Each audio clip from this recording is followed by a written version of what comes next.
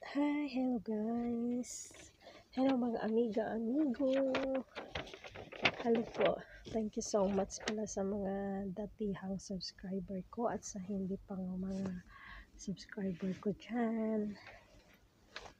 Baka naman, baka naman. And guys, ngayon guys, ang pag-uusapan natin ay tungkol sa ah, bansang Kuwait.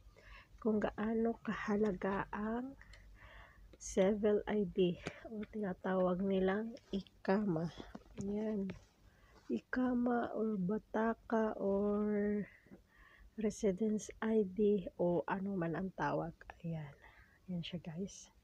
Kung gaano siya kahalaga dito sa bansang Kuwait. Yan guys. Unang-una, unang-una ang civil ID is very important dito sa bansang Kuwait. Yan.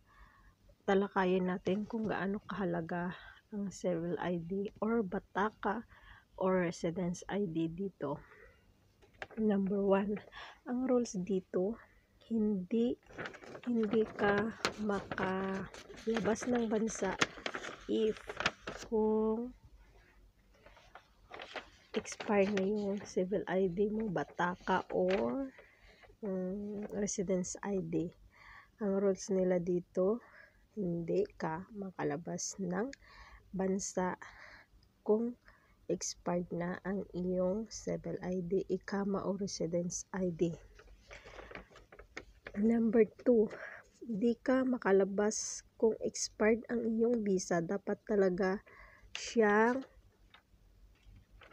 dapat mo talaga siyang i-renew bago bago ka makalabas dito or mag-exit or magbakasyon. Tapos ito guys, yung number 3. Yung number 3 ay ano kung sakaling magkasakit ka at kung gusto mo magpa-check up, kailangan kailangan din to. Kasi guys, uh, bakit nasabi ko na kailangan siya? Just, ayan guys, kasi nung nung ano pa lang ako dito, video baguhan pa lang ako. Tapos, sinabi ko sa amo ko na gusto kong mag ano, magpa-check up kasi nga inuubo ako. Tapos na masakit yung mga likod ko, hindi ko na kaya. Sabi ko, gusto kong magpa-check up. Tapos ano sabi niya sa akin, hindi ka makapagpa-check up kasi wala, wala o hindi pa ako naka-issue sa'yo ng civil ID. Ayun, mula ano yun, nagsabi ako sa kanya na gusto kong magpa-check up at sinabi niya na gano'n nga, hindi pwede magpa-check up kasi nga wala pa akong civil ID. Kaya doon din siya nagsimula na i-ano yung civil ID ko na magkuha siya ng civil ID. Kaya kahit na kahit pala sa pagpa-check up, magpagamot ka, kailangan din ng civil ID. Diyan, diyan sa mga ibang ano, sa mga ibang vlog, hindi nila nabanggit na kailangan ang civil ID sa pagpa-check up. Pero sa akin po na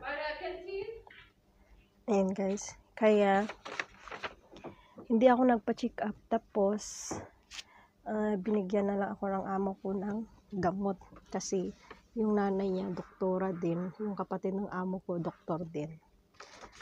Ayan. Tapos number 4 ay number 4 ito guys kailangan kailangan talaga din ito. As in. Tapos ano siya, kung maghuhulog tayo ng pera sa Pilipinas, ay kailangan kailangan din natin ang civil ID. Hindi sila tumatanggap ng ibang mga kung ano-ano pang mga ID. Uh, ah, civil ID lang talaga yung kanilang uh, kanilang kinakailangan sa remittance ang ating civil ID. Pero yung civil ID mo, kung may mga kabayan tayo na uh, di ba mga expire na yung civil ID nila o di kaya hindi pa sila nakapag hindi pa sila na-issue ng mga amo nila ng ID or ng kumpanya nila, pwede mo ipahiram yung ID mo. Pero, kasama ka. Kasi ikaw yung magpipirma ng uh, ano ng remittance niya. ng remittance papuntang Pilipinas. Pwede mo siyang ipahiram. Yan. Pero wag mo siyang ipahiram sa mga ano-ano pa. Kasi dito, ah, kung yung, yung humiram sa'yo ay ah, kaya ginamit niya sa mga kalukuhan, kaya ikaw yung matitrace. Ayan. Madadamay ka sa kanyang kalukuhan. Ipahiram mo lang sa mga ano, mga kakilala mo sa akin diyan. May vlog ako diyan na pinahiram ko sa kay kabayan na pero okay lang yun kasi nahulog din siya ng pera at ano ah na ano ko siya na um, na ano din ako sa kanya. Kasi sabi kailangan daw na mahulog siya ng pera sa Pilipinas para sa mga anak niya.